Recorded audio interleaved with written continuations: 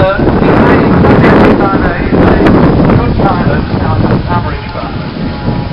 strong, the uh, tube fuselage and a uh, very strong uh, cantilever wing with no bracing cables. It, it was the only aeroplane specifically mentioned. he wasn't looking forward to the landing, but he got away with it. So uh, we normally restrict ourselves to about 15 knots with the dawn patrol. So it's certainly.